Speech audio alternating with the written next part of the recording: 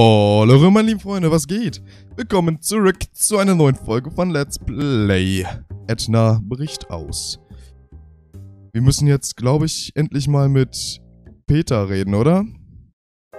Er wirkt äußerst deprimiert. Ein bisschen, ne? Ich will nicht, dass er sich noch schlechter fühlt. Oh. Ich will nicht, dass er sich... Was hältst du von dem Typen, Harvey? Scheint mir eine besonders trübe Tasche zu sein. Ahem, ja, es könnte sein. Soll ich dich von deinem Leiden befreien? Oh, Welches Leiden meinst du? Naja, das Gesicht, die jammervolle Erscheinung, der fehlende Lebenszweck, das unstimmige Gesamtgefüge der überflüssigen Peter-Existenz halt. Ich komme drauf zurück. Alter. Alles klar. Willst du es schriftlich? Will ich was schriftlich? Dein Leben ist vergurkt. Wie ein teurer Gebrauchtwagen, nicht versichert und gegen die Wand gefahren. Danke, schon gut. Ich denke, das kann ich auch so behalten. Oh, Edna, du bist so gemein. Wenn Captain unbrauchbar Kryptonit ist, leidet er tagelang unter starken Depressionen. Gut zu wissen. Ich mach den Fehler immer wieder, oder? Allgemeine Stimmungskontrolle. Seufzen Sie mal in dieses Röhrchen. Wie ich es mir dachte. Nichts als Trübsal. Mensch. Tja. Kein Anruf für Peter. Schade. Sein Leben ist keinen Groschen mehr wert. Alter Edna, du bist gemein. Willst du die Zickzackschere? Zumindest bis ich einen Strick oder ein Harakiri-Schwert gefunden habe? Nein, nein, behalt sie ruhig. Ich habe es nicht eilig. Diese Anti-Haltung ist genau der Grund, warum dein Leben so unnütz ist. Siehst du diesen Fußnagel? Einstmals lebendiges Gewebe, dann allerdings verhornt und abgestoßen. Schließlich ein Fall für den Badmülleimer. Erinnert dich dieser Fußnagel an jemanden? Das bist du, Peter. Möchtest du noch einen Drink? Ich habe noch einen, danke. Mein Glas ist schon seit Stunden halb leer. Noch nicht halb voll? Na du. Ich bin Edna. Wer bist du? Hi Edna, ich heiße Peter. Im Ernst? Wer nennt sein Kind denn Peter? Wie alt bist du denn, sag mal? So heißt doch heute niemand mehr. Mann, Mann, Mann, Mann. Ein selten hässlicher Name. Mit so einem Namen würde ich mich umbringen. Alter. Ähm, ich meine, so schlimm ist es auch wieder nicht. Der Name ist zwar hässlich, aber zu dir passt er irgendwie. Geht es dir nicht gut? Nicht gut ist gar kein Ausdruck. Heute ist mein Geburtstag. Wieder ein Jahr mehr auf dem Tacho. Was soll's? Schlimmer wird mein Leben dadurch auch nicht mehr. Du bist manisch-depressiv, stimmt's? Der Doc nennt das so, ja. Und wie nennst du das? Ich nenne das Peter. Okay, der ist gut. Ich könnte dich ja etwas aufmuntern. Versuch's ruhig. Schlimmer als jetzt kann's wohl kaum noch kommen. Es ist ein schöner Tag und die Sonne scheint. Naja, okay, das nutzt dir hier drinnen gerade nicht viel. Immerhin bist du hier drinnen eingesperrt. Und die ganzen tollen Sachen, die man draußen machen kann, bleiben dir verwehrt. Aber vielleicht hilft es ja, dir klarzumachen, dass alle anderen Spaß haben. Weil sie im Gegensatz zu dir alles machen können, wozu sie Lust haben. Und seien wir mal ehrlich, die sind wahrscheinlich sogar froh, dass du nicht dabei bist. Du bist ja nicht gerade eine Stimmungskanone. Ähm, jetzt habe ich den Faden verloren. Worauf wollte ich noch gleich hinaus? Du wolltest mich aufmuntern. Ach ja, genau. Immerhin bist du noch am Leben. In deinem Alter ist das nicht mehr selbstverständlich, weißt du? Du kommst jetzt in die Jahre, da geht es nun mal nur noch bergab. Die guten Zeiten kommen nicht wieder. Und was du bis jetzt nicht geschafft hast, kannst du getrost vergessen. Der Zug ist abgefahren, Peter. Von jetzt an wird es immer nur noch schlimmer und schlimmer und schlimmer.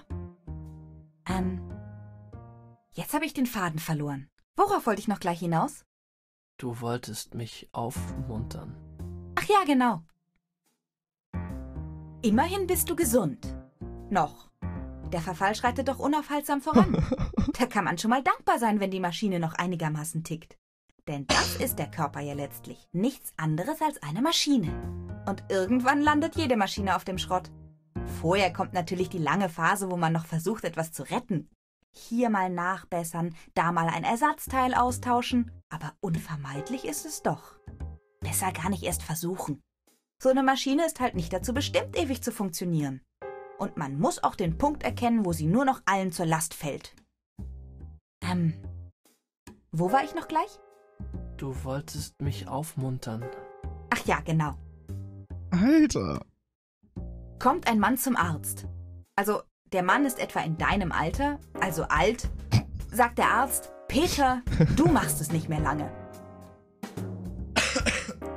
Das war doch nicht etwa schon der ganze Witz. Wieso Witz? Ich wollte dich nur schon darauf vorbereiten, was bald auf dich zukommt. Das ist aber nicht gerade aufmunternd. Oh, ach ja. Im kosmischen Zusammenhang betrachtet sind deine Probleme vollkommen irrelevant. Genauer gesagt, im kosmischen Zusammenhang betrachtet bist du irrelevant. Ich meine, wem nutzt es schon, dass du existierst? Und wen kratzt es, wenn es dich mal nicht mehr gibt? Hast du je irgendetwas getan, das bleibende Spuren hinterlassen wird? Was ist überhaupt von Dauer? Nichts. Sogar die Pyramiden werden irgendwann zusammenfallen. Am Ende ist alles Asche. Und alles, wofür du dich jemals angestrengt hast, puff, einfach nur warme Luft. Was ich damit sagen will, ähm, ja was? Du wolltest mich aufmuntern. Ach ja, genau. Ich geb's auf. Du bist einfach ein zu harter Knochen, Brocken. Danke für deine Hilfe. Nicht der Rede wert.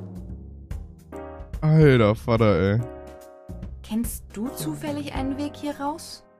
Es gibt keinen Ausweg. Nicht aus diesem Haus. Nicht aus dieser Haut. Nicht aus diesem Leben. Ich lass dich wohl lieber allein in deinem Elend. Tja, warum sollte man einem wie mir auch Gesellschaft leisten? Tja, bin ich überfragt. Alter, Alter, ey. Diese Fliege ist bereits auf der anderen Seite. Okay, hier ist wirklich ganz spezielles Insiderwissen, was niemand wissen kann. Und zwar, äh, dieser Screen ist äh, eins zu eins die Kulisse von einem Kurzfilm, den ich gedreht habe, kurz bevor ich mit den Arbeiten an Edna Bricht aus angefangen habe. Und zwar heißt der Film Eschers Casting, den wir peinlicherweise bis heute nicht fertiggestellt haben. Also nicht vollständig fertig, der Schnitt ist fertig und so weiter, aber leider ist der Film immer noch nicht so ganz fertig. Aber äh, die gesamte Anordnung mit den Stühlen, Kaffeeautomaten, alles, die ganze Kulisse, die ganze Optik ist halt vollständig diesem Film entlehnt. Und tatsächlich habe ich mich auch bei dem äh, Outfit der Anstaltsinsassen, insbesondere bei Peter, oder auch König Adrian an dem Kostümdesign von unserer Daniela, die halt mit mir zusammen den Film gemacht hat, orientiert. Äh, die hat den Schauspieler, also in diesem Film geht es um Schauspieler, die halt in eine starke Identitätskrise geraten, äh, diese grauen Jogginganzüge verpasst hat, dass die halt irgendwie dass das Ganze halt eben auch, und so sagte sie es damals auch ein bisschen kränklich entrückt, wie halt irgendwie, als, als wären die Patienten irgendwo und, und gar keine wirklichen Schauspieler. Ja, und ich habe auch im Dialog mit Petra kleine Hinweise auf die Personen, die so, das sind alles Insider-Gags, die natürlich niemand verstehen kann, der nicht über diesen Film Bescheid weiß. Aber ich dachte so, es passiert so viel in Edda bricht aus, dass niemand versteht. Da tut das auch nichts mehr zur Sache. kann ich das einfach mal machen. Ich überkommt ein kleiner Schauder, immer wenn ich diesen Raum betrete wenn ich Edna nochmal spiele, weil mir der Geruch in die Nase steigt von diesem Raum, in dem wir gedreht haben. Und zwar war das der Keller unterm Audimax auf dem Hamburger Universitätsgelände. Und der wurde von Studenten als Partyraum gebraucht normalerweise. Und wer schon mal eine ganze Woche in einem äh, Keller verbracht hat, ohne Fenster, dafür aber mit eingetrockneter Kotze, der weiß, wie wir uns da gefühlt haben. Und ich glaube, ein bisschen von dieser Stimmung transportiert auch äh, dieser Raum. Alles klar. Oh, Wer ist eigentlich dieser Frank? Na, ich bin Frank. Du bist Frank? Ich bin Frank. Mein Uronkel dachte, er sei der große Hieronymus. Wenn ich auf der Bühne bin, ist jede Faser meines Körpers Frank. Jede Geste, Jede einzige Bewegung. Natürlich weiß ich jetzt, wo ich hier stehe, dass Frank nur eine Rolle in einem studentischen Kurzfilm ist. Aber wenn ich auf der Bühne bin, dann bin ich Frank, okay? Okay. Fein. Fein. Okay. Äh, Harvey. Sieh nur, Harvey. Da hat jemand Vorsicht Frank auf den Becher geschrieben. In Spiegelschrift. Das hier ist wirklich ein Irrenhaus. Die qualifizierte Bemerkung eines sprechenden Stoffhasen. Hm. Na sowas. Diese Poloschlägerschutzkappe ist zu klein für meinen Schläger. Was? Das ist unlucky. Huh, da steht schon was drauf. Vorsicht, Frank. In Spiegelschrift. Hm, seltsam. Wieso seltsam? In diesem Bild schickt Captain Unbrauchbar nützlich Boy Kaffee kochen. Sehr gut. Mach mir auch ein mit nützlich Boy. Nein, danke. Ich trinke nicht, wenn ich im Dienst bin. Becherphon und Münztelefon sind leider nicht kompatibel. Oh, warum nicht? Ich habe eine Vision. Diese Münze wird den Becher füllen. Aber dafür bräuchten wir viele Münzen. Hm. Rätselhaft. Total. Lass uns den Becher zerschneiden. Das würde ich lieber sein lassen. Ich kann mir gut vorstellen, dass er noch nützlich wird. Oh, Menno. Nicht traurig sein, Partner. Du kannst ja stattdessen meine Nasenhaare schneiden. Yippie.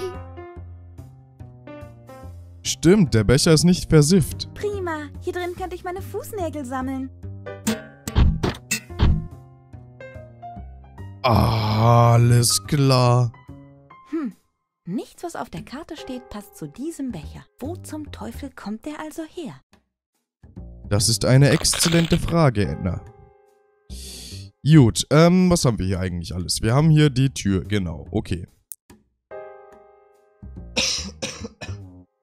Aschenbecher. Das soll ein Aschenbecher sein?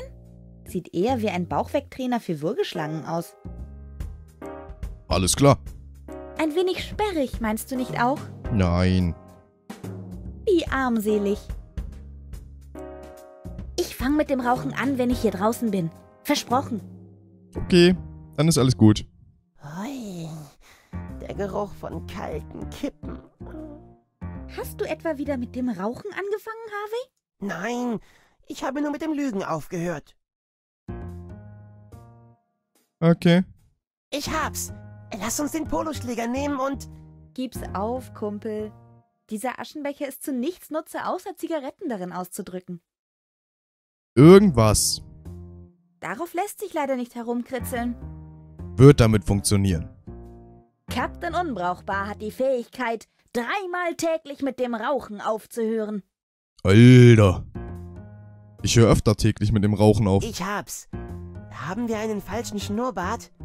Dann könnten wir nämlich... Gib's auf, Kumpel. Dieser Aschenbecher ist Jedes Mal, wenn ich meine Zigarette ausdrücke, höre ich auf, bis ich die nächste anzünde. Ich hab's.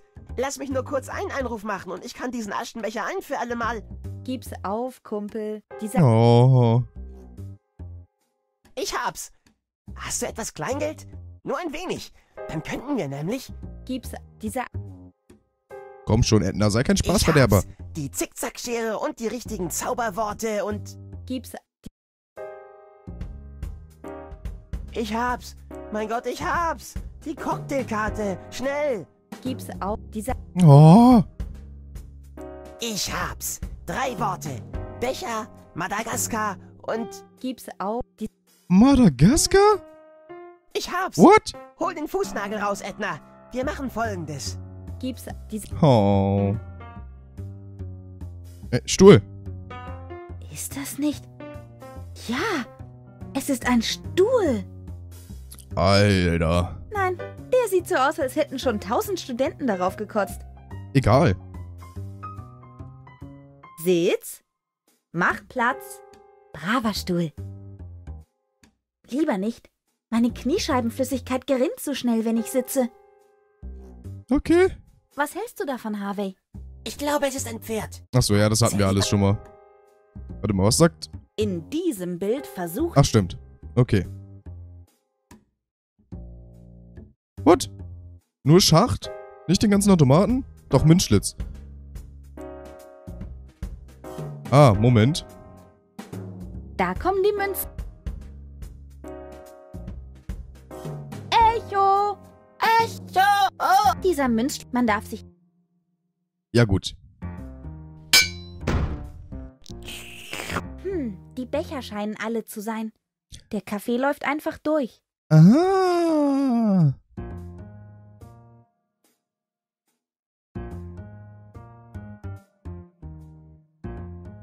Da kommen Münzen rein.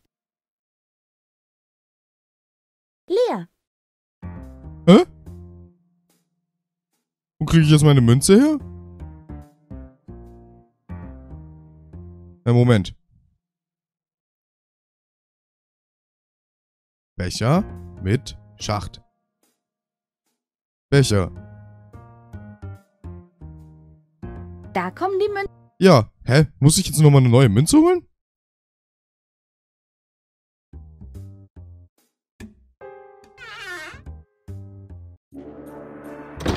Ich hoffe, ich krieg nochmal eine neue.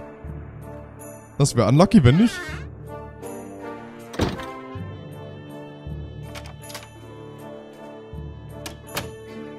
So, dahin.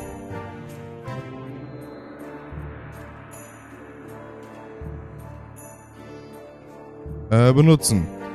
Hallo? Ach so. Kein, kein. Scheinbar hat jemand in meiner Abwesenheit versucht zu telefonieren. So Okay. Gut. Ah, okay. Wechselgeld. Alles klar. Sehr gut. Ich dachte gerade schon, ey. Ich hatte schon Angst. Das funktioniert nicht mehr. Habe ich übersteuert? Wenn ja, es tut mir leid. Ich glaube, das sage ich mindestens einmal per Part, oder? Per Part? Pro Part. Was?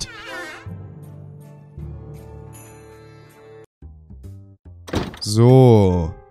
Nochmal zur Tür und danach den... Den Geld?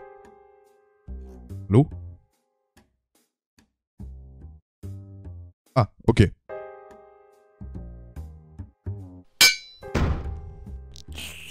Hm, Kaffee. Das brauchen wir doch für den Bienenmann, oder nicht? War das nicht? Ja, ich glaube schon. Ich bin mir nicht mehr so sicher. Ist ein bisschen her, seitdem ich Nicht letztes gerade Mal ein aufgenommen habe. lauschiges Plätzchen. Die will ich nicht. Warum nicht? Unsichtbarer? Bist du das? Wer sonst? Genau, Wer Edna. rastet der Roastbeef? Alles klar. Was hältst du davon, Harvey? Hui. Achso. Äh, ich. Na, Ja, das hatten wir auch alles schon mal. Gut. Moment mal. Wenn ich jetzt hier... Ich möchte diesen Kaffee reklamieren. Dann redest du am besten mit dem Kaffeeautomaten.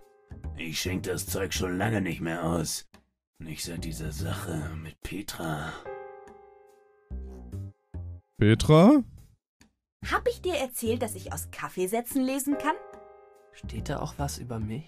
Oh nein. Mal gucken. Und was siehst du? Schwarz. Alles zappenduster. Oh, Nicht mal die Spur von einem Licht am Tunnelende. Alles hoffnungslos schwarz. Alter. Alles klar, ey.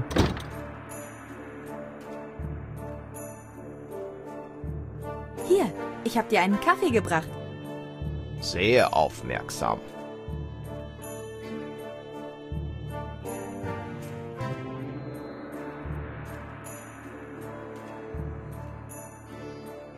Ah.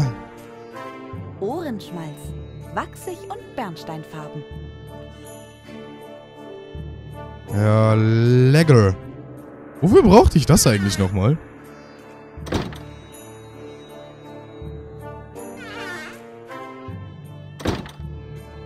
Nee, für den brauchte ich's nicht, glaube ich. Nee. Nee, nee.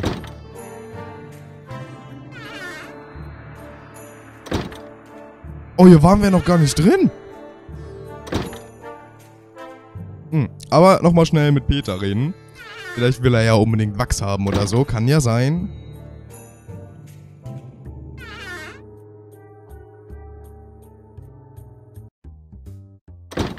Was war damit eigentlich nochmal? Löffel und Fass. Ah, zu lang her. Ich sollte das Spiel in einem Rutsch Du aufnehmen. solltest dich Folgendes fragen. Warum gibt Edna sich lieber mit einem Becher Ohrenschmalz ab als mit mir? Die Antwort? In der Gegenwart des Ohrenschmalzes fühle ich mich deutlich wohler. Alter. Edna, du bist halt so eine miese Person, ey. Eieieiei. Gut, Leute, das war's vorerst mit diesem Part. Ich hoffe, es hat euch gefallen. Wir sehen uns bei das nächste Mal wieder. Haut rein.